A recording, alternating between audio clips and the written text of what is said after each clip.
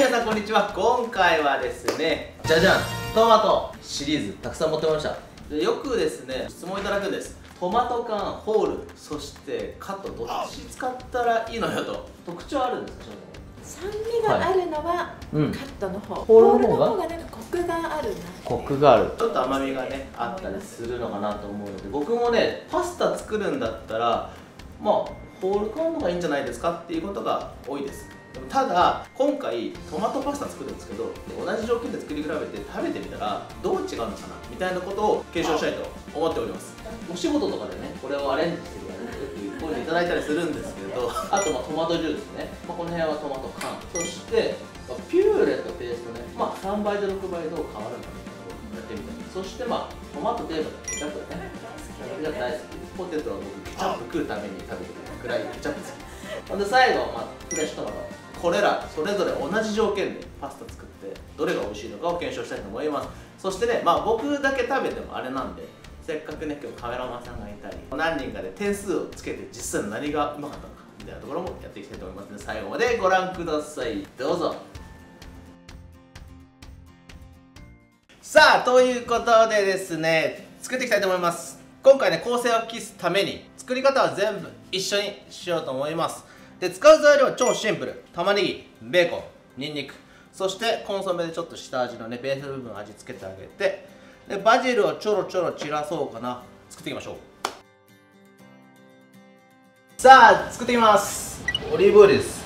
オリーブオイル入れます。一気にねあの作っちゃうのでちょっと多めに入れてニンニク4かけ分入れますねこれね。加熱していきます。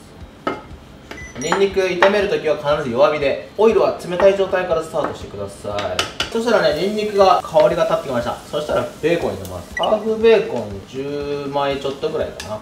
を短冊で切ってます。これもちょっと炒めていきましょう。である程度炒まったところでみじん切りした玉ねぎ加えていきます。玉ねぎ2つ分みじん切り。このまま炒めていきます。大体トマトソースのシンプルなやつのベースができました。さあということでこれをね8等分してそれぞれのフライパンに入れていきたいと思います。それぞれ分け終わりました。でちょっとコンソメをね小さじ4分の1ずつちょっとベースになるとこなんで入れていきます。この辺入れていきましょうか。まあ大さじ1から2ぐらい必要なものはちょっと水で伸ばしたりしてソースを煮詰めていく形にしようと思います。じゃあトマトジュースいきます。続いてピューレです。大さじ1入れました。トマトペースト。これこれが3倍濃縮6倍濃縮。まあなんか2倍濃いですね。1パッケージが 18g なのでまあ大体大さじ1ちょいみたいな。こっちの方がトマトペーストより濃いでしょう。カット感煮詰めるんでちょっと後でちょっと微調整で味を整えます。同じ調味料で。3分の1ぐらい入れました。ホール缶1個。1個半ぐらいいくはい大体3分の1ぐらい量入れました。やってまいりました。パッパッパタスパッパークノールさん1袋いきましょうちょっと 150ml 何もんでしょうか最後フレッシュトマト切りましたちょっと多めに1個半分ぐらい入れましたこれをねコトコトと煮詰めていきますあとパスタとあえて完成順調に出来上がっております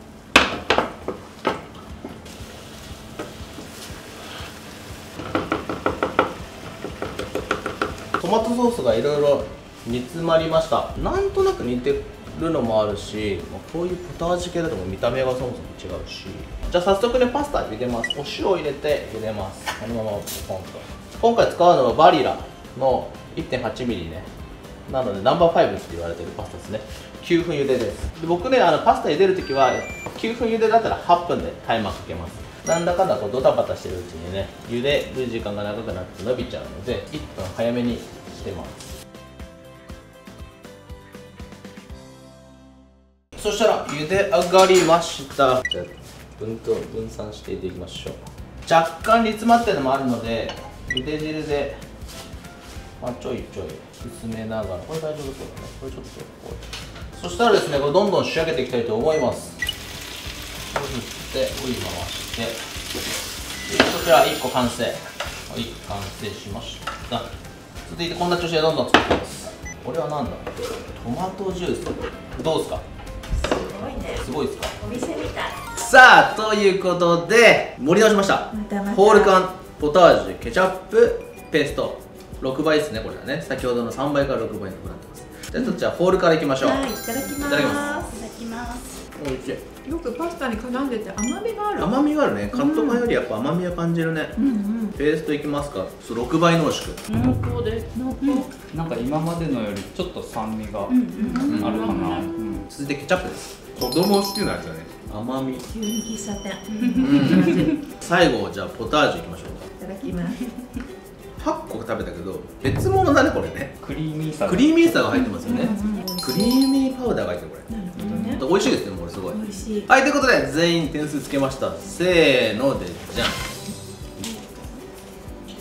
それぞれ1位発表します？1位はフレッシュトマト。おなんーかトマトの酸味と、なんか水分とか全体的にバランスが良かったので、うん。トマトパスタならこのフレッシュトマトが一番美味しかったかな。なるほど。じゃあ宮原さん。ありがとうございます。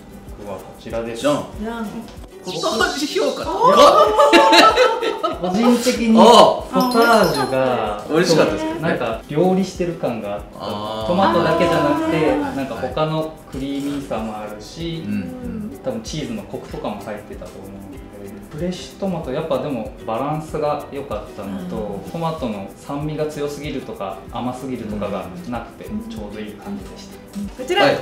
じゃんちょっと宮原さんごめんなさい。私はちょっあとー。酷評酷評フレッシュトマト。うん美味しかった、はいは意外性がねありました。ちょっと薄いかなって思ったんだよね。うん。濃縮してないし。だけどやっぱうまみも感じてフレッシュさもあって、爽やかですっごい美味しかった。で最後グッさんお願いします。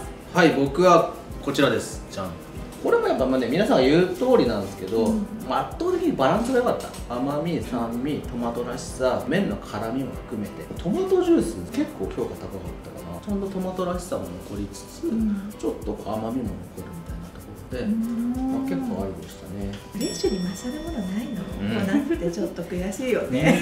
みんなこうすごいすごいねということでいろんなやつでトマトパスタ作って検証してみました。僕たちの結果は一番美味しかったのはフレッシュトマトでございました。ぜひ皆さんいろんなトマトで作ってみてください。ではまたね。バイバイ。バイバイ。全部まとめてみたらこちらでした。1位はなんとフレッシュトマト圧倒的みんな満点でした。カット缶とホール缶ね。ここはまあ上位でしたね。でカット缶とトマトジュース。ここが第3位でした。ということで最終的な結果はこちら。またね。